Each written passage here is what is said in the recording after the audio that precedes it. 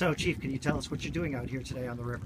Oh, we're working very hard cataloging all of the moorings that are out here. There are some people that are not in compliance, there are some people that are in violation, but in addition to that, we want to create a, a, a, permanent log of their latitude and longitude and exactly where each mooring is so that we can revisit them should the mooring need to be moved or if they lose their chain due to uh, corrosion or whatnot.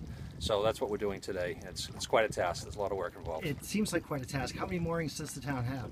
Town has just under 300 moorings total, and they're, they're spread out in a variety of areas.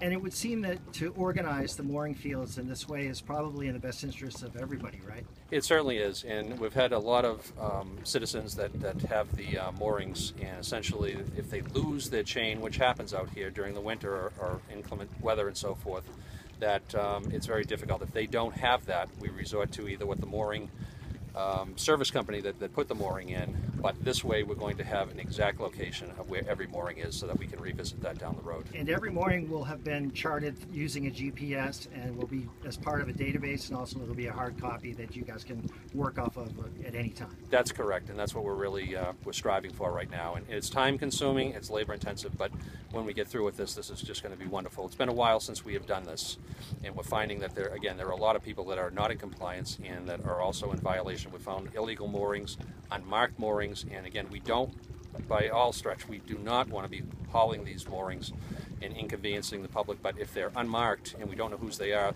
we look at it that they could be illegal moorings and we will haul them.